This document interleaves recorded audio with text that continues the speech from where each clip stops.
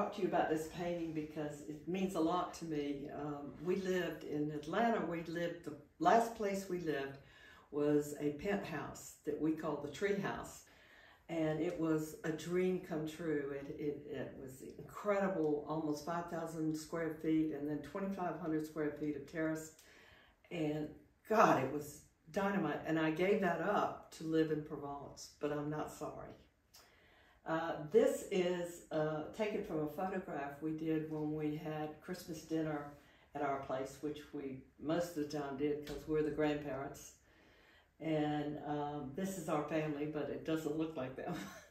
uh, anyway, uh, I love this. Um, we had Christmas decorations up, and this place was just really, really special. And I thought it would make a great painting. So um, again, I love contrast and the light on the table. Uh, and I am known for always having a lamp on a, on a dining room table. Um, this is, and it's one of my favorite lamps. Um, just the right before dinner.